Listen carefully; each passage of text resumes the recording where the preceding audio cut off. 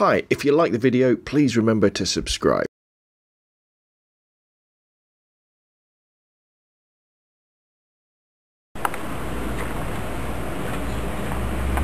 Okay, layers, layers in Photoshop and Photoshop Elements. Whew. Layers are the most powerful, well, one of the most powerful features in Photoshop. The fact that you have the ability to take an image and then put like clear acetate on top of it and do your adjustments on there and then build as many acetates as you want and then you can change these acetates individually without um, altering the, the image underneath but they're a little bit complicated. Um, so recently I got this book by um, Matt Kloskowski, he's one of the presenters on Photoshop User TV, great photographer and good teacher as well. And in it he basically goes through an, an explanation of what layers are and how they work and how they change their photos and why you should be using them.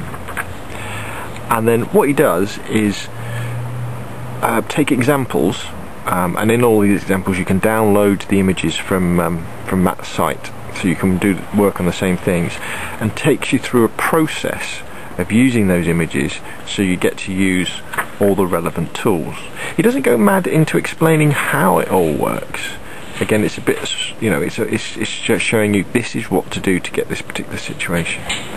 Um, now, a lot of this stuff, I when I first got the book, I was like, ugh, I know most of this, but you, it's really worth reading it, everything, and working your way through it because you'll discover things you didn't know, and it gives you great practice in things like selections. Um, I mean, am I ever going to really worry about making a menu, you know, for a restaurant with this sort of picture? Well, no, but there could be a situation when I want a pretty montage that I want to make, and he explains all that blending modes.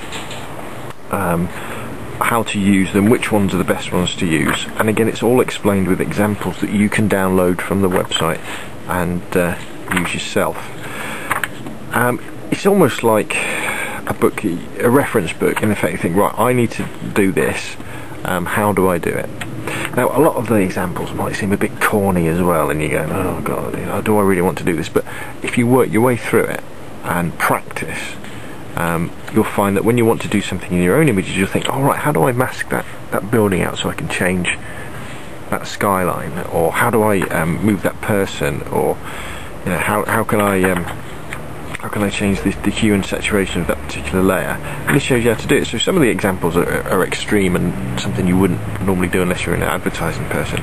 But the practice of doing them and um, going into it is uh, will definitely help you in your general photography editing. I mean, I don't really muck around with type at all, but going through some of these examples really showed me, whew, you know, the things you could possibly do with Photoshop. Um, loads of really, really good stuff, techniques that will that will benefit um, your photography and just just um, perhaps bring an extra dimension um, to what you want to do. So, if you've got Photoshop. Um, I think he's written this with CS3 and CS2 in mind, really, but a few of the quite a few of the things you can use um, in Elements as well because that uses layers. Um, definitely worth a buy. Um, Photoshop's Layers by Matt Kloskowski. Um, I got this from Amazon.co.uk and it was uh, pretty cheap.